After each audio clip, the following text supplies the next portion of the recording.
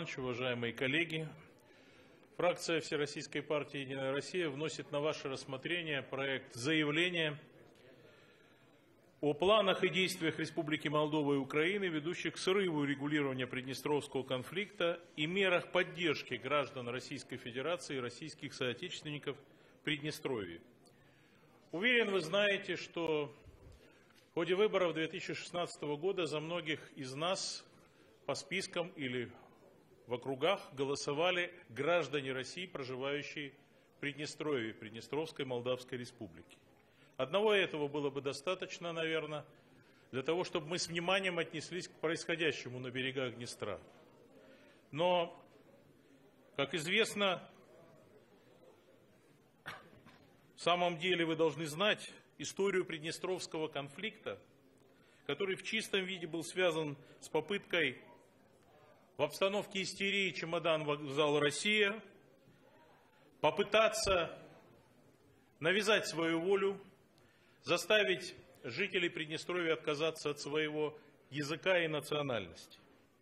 И мужественной попыткой жителей Приднестровья, трудовых коллективов Приднестровья, взявшихся за оружие для того, чтобы не дать унизить свое человеческое достоинство. Россия прервала течение конфликта в свое время.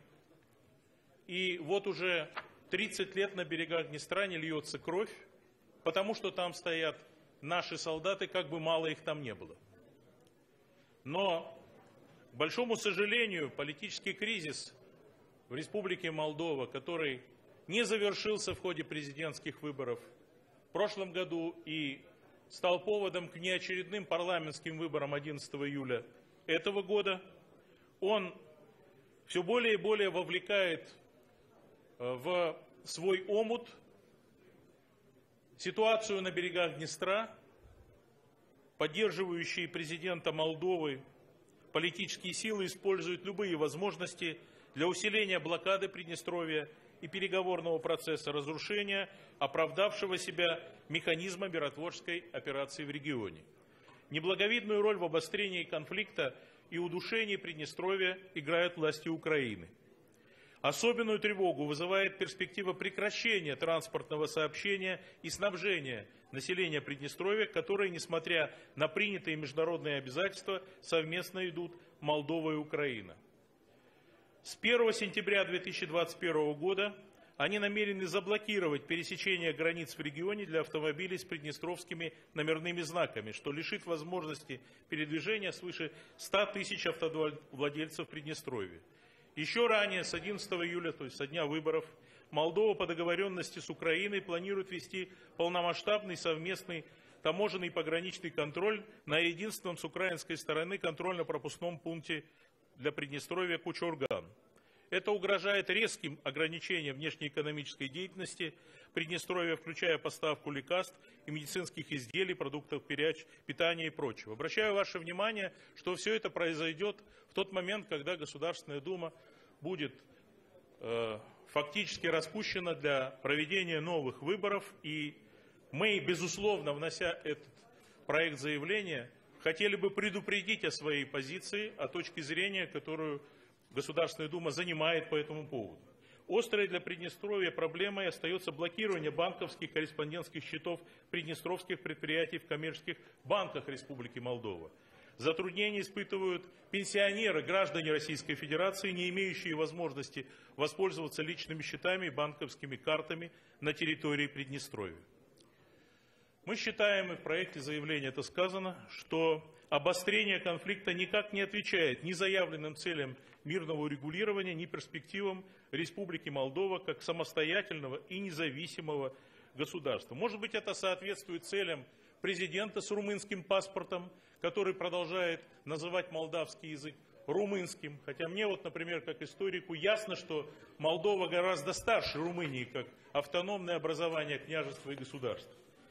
Тем не менее, то, что мы должны быть, были бы сказать, и мы скажем об этом, Российская Федерация как гарант урегулирования Приднестровского конфликта, мира и спокойствия на берегах Днестра не даст поставить своих граждан и соотечественников на колени. Мы считаем неприемлемыми любые действия, направленные на блокаду Приднестровья.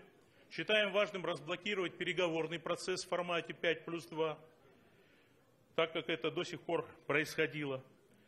Призываем власти Республики Молдова к выполнению всех ранее достигнутых договоренностей и протоколов.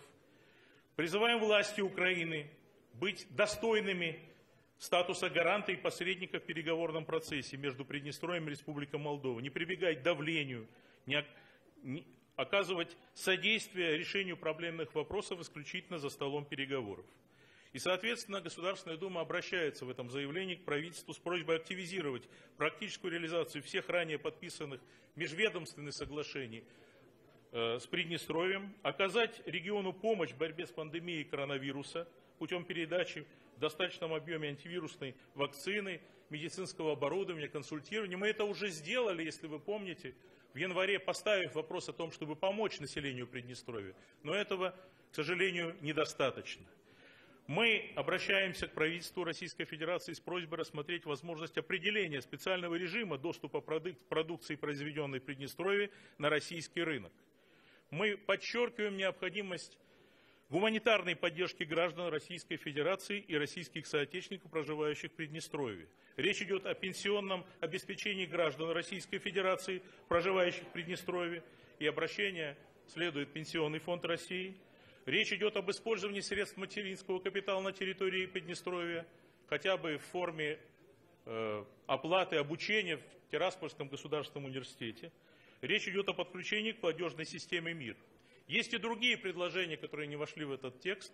Мы над ними работаем. Речь идет об упрощении получения гражданства населением Приднестровья, российского гражданства. Речь идет об открытии вновь воздушного сообщения с Тирасполем, что является темой на переговорах и все это, мне кажется, важно для того, чтобы все знали, секунд, как я уже сказал, что Российская Федерация и Государственная Дума в, этом, э, в данном случае об этом заявляет, не даст унизить и поставить на колени наших соотечественников и граждан России в Приднестровье методом блокады и утешения и удушения этого анклава.